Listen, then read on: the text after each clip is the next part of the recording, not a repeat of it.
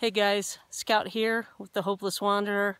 Uh, some of you may know yesterday was kind of a, a shit happens day for me. Uh, lots of heat, bad decisions.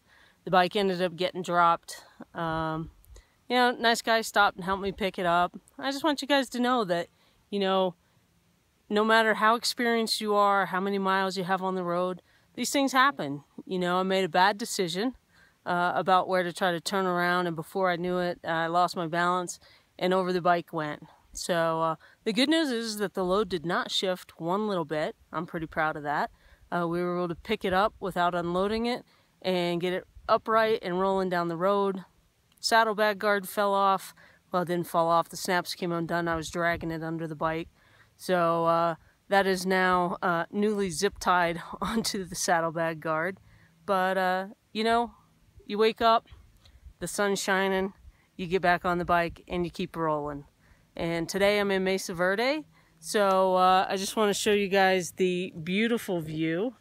Uh, we were at the fire tower lookout. And you know what?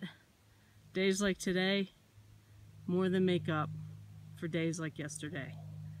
Uh, you know, you just gotta take a deep breath, calm yourself, and get back on the bike. So for now, I'm Scout, I'm out, adventure on.